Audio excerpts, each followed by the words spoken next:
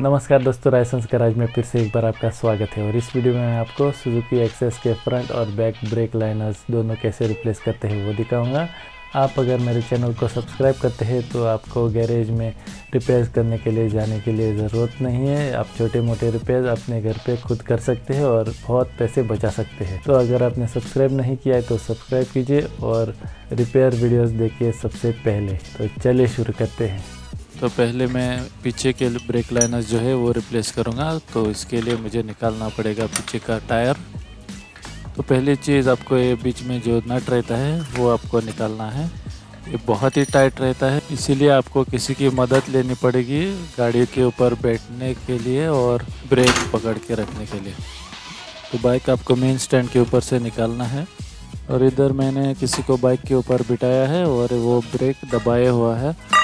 और मैं इधर एक लंबे पाइप का यूज़ करूँगा ताकि मुझे ज़्यादा फोर्स ना डालना पड़े।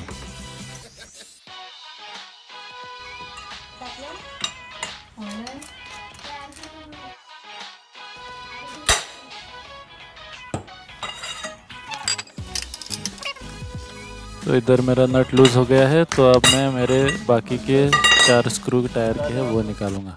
अब आप गाड़ी में स्टैंड पे निकाल सकते हैं और पार्किंग ब्रेक का लॉक लगा के रखिएगा। इसके बाद आपको निकालना है टायर के चारों नट।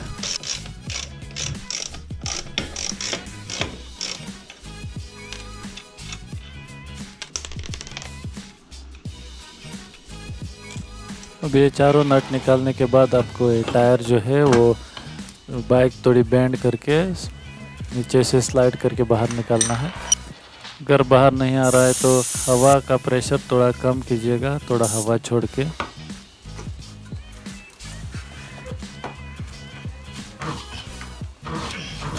तो टायर निकालने के बाद आपको जो नट आपने लूज़ करके रखा था, वो आपको निकालना है पूरा।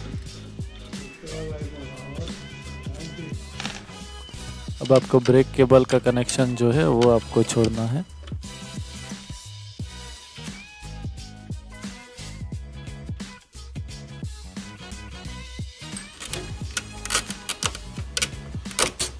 वीवो केबल निकालने के बाद आपको हथौड़ा लेके पीछे से थोड़ा से हल्के से हथखटाना है ताकि ये व्हील बाहर आ जाए।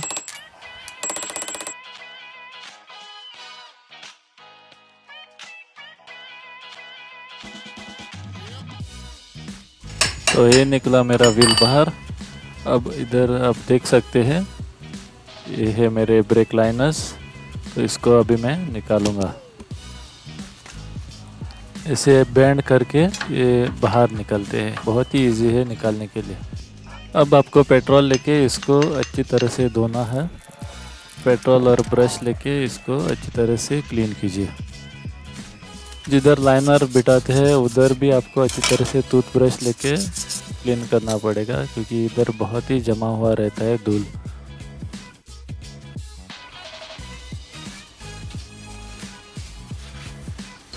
तो अब मैं इधर मेरे नए लाइनर्स जो है वो सेट करूँगा डालने से पहले। पुराने वाले पे से मैं वो स्प्रिंग निकालूँगा और इस नए वाले के ऊपर डालूँगा। तो पहले आपको ये जैसे है वैसे रखने हैं और बाद में ये स्प्रिंग में उसके ऊपर से निकाल के इस लाइनर को फिक्स करूँगा। ये ये लाइनर जो है वो मैंने शोरूम से लाए हैं। इसको थ्री ट्वेंटी सिक्स रुपीज़ मेरे को पड़े हैं। लाइनर्स डालते समय आप ओरिजिनल ही डालना। अगर आप डुप्लीकेट लाइनर्स डालेंगे तो आपको ब्रेकिंग रिस्पांस उतना अच्छा नहीं मिलेगा जितना ओरिजिनल पे मिलता है वो।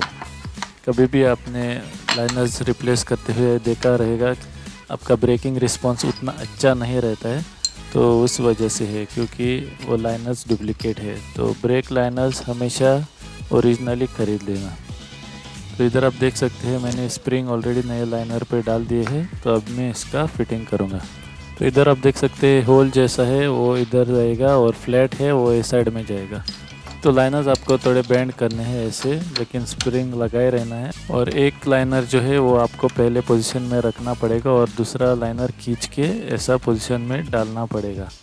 और बाद में प्रेस किया तो ये हो गया आपका लाइनर फिटिंग तो ये कवर वापस डालने से पहले मैं एक सैंड पेपर लेके इसको थोड़ा घिसूँगा, ताकि इसको थोड़ा स्क्रैचेस पड़े ब्रेक मारते समय इसका रिस्पॉन्स और बढ़ने के लिए। ध्यान रहे कि आपको ज़्यादा भी नहीं घिसना है। अब मैं करूँगा इसको फिटिंग फिटिंग करते समय आपको इसको थोड़ा हिलाना पड़ेगा, ताकि ये ग्रूव में अच्छी तरह से बैठ जाए। बैठने के बाद आपको इधर वाइसर डाल के ये नट जो है वो वापस डालना है। ये नट अभी आप ज़्यादा टाइट नहीं कर सकते क्योंकि आप ब्रेक मार के गाड़ी को नहीं रख सकते हैं। तो इसको इतना ही टाइट करके आपको टायर अभी बिठाना पड़ेगा। अभी टायर बिठाने को आपको आपकी बाइक थोड़ी बैंड करनी पड़ेगी और टायर ऐसे नीचे से सर कटाना पड़ेगा अंदर। अभी टायर बिठाते समय आपको थोड़ी दिक्कत होगी अगर आप अकेले हो तो इसमें आप किसी की हेल्प ले लेना बाइक बैंड करके रखने के लिए। नहीं जा रहा है तो ऐसा किक मार के आपको इसको अंदर डालना पड़ेगा। तो ये गया मेरा टायर अंदर, अब मैं इसका नट्स डालूँगा। अभी नट्स टाइट करने से पहले मैं इसका ब्रेक का केबल जो है वो कनेक्ट करूँगा, ताकि ब्रेक मार के रख के मुझे टाइट करने को मिलेगा अच्छी तरह से। कभी कभी टाइट करते समय ये नट और ये केबल दोनों घूमते हैं, इसीलिए आपको पकड़ लेके एक साइड में ऐसे पकड़ के रहना पड़ेगा और बाद में स्पैनर लेके एक साइड से टाइट करना पड़ेगा।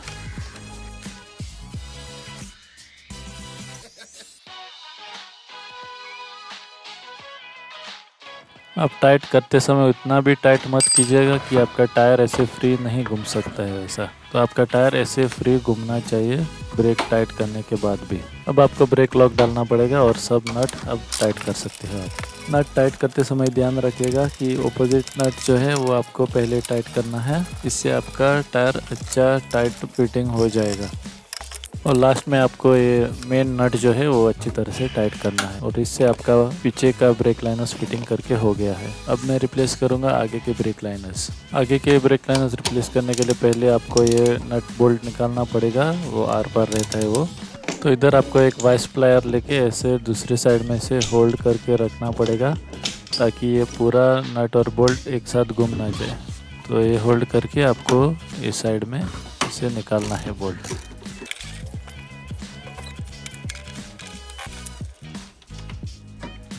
ये बोल्ट निकालने के बाद आपको अपना स्पीडोमीटर केबल और ब्रेक केबल इधर से छोड़ना है।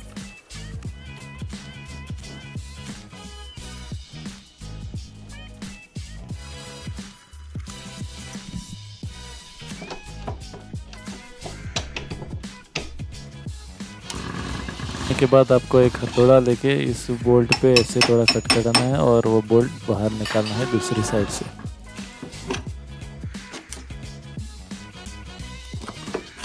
अब शॉक्स को ऐसे पकड़ के आपको ये टायर बाहर निकालना है।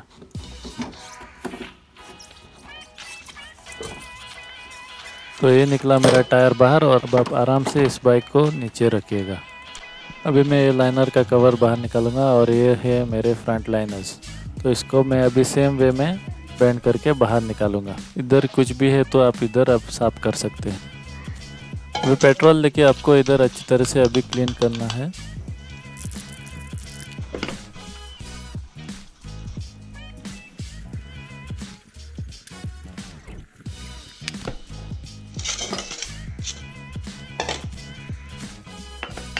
अब सैंड पेपर लेके मैं इधर थोड़ा स्क्रैचेस डालूँगा। और ये है मेरे नए ब्रेक लाइनर्स और पुराने वाले पे से मैं स्प्रिंग निकाल के नए लाइनर्स पे डालूँगा अभी।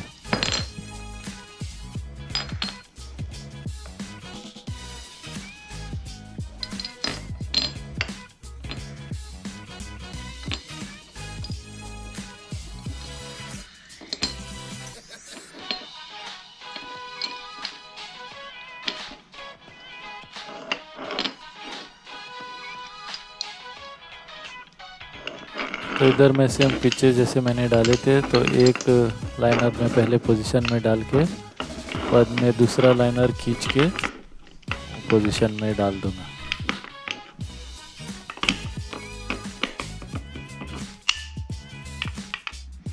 अब मैं कवर फिर से व्हील पे डाल दूँगा और व्हील में अभी फिर से फिटिंग करूँगा।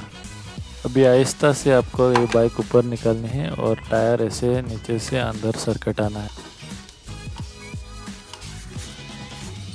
अभी टायर वापस डालते समय आपको ध्यान रखना है कि ये शॉक्स को एक एक्सटेंशन रहता है, ये वाला, ये इस गैप में जाना चाहिए, नहीं तो आपका टायर ठीक से फिटिंग नहीं होगा।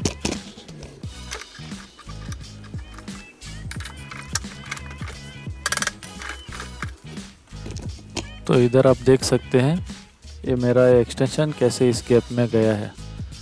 तो ये है राइट पोजीशन टायर डालने का। अब ये आप बोल्ट आर पार कर दीजिएगा और दूसरे साइड में पास कर दीजिएगा। इधर आपको दूसरे साइड में शॉक जो है वो टिक्कर से अलाइन करना है ताकि उस गैप में वो न बोल्ट पास हो जाए और बाद में आपको दूसरे साइड से पुश करके ये बोल्ट इधर देखिए ऐसा आ गया है। अब इसको अभी नट डाल के रखिएगा। अब आपको अपना स्पीडोमीटर केबल फिर से वापस कनेक्ट करना है और बाद में आपको अपना ब्रेक का केबल जो है वो कनेक्ट करना है।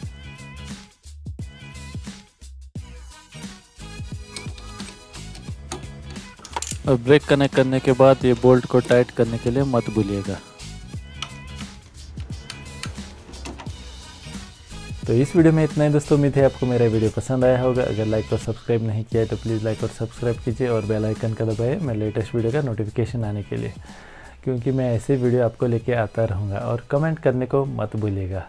तब तक अपना ख्याल रखें, फिर मिलेंगे।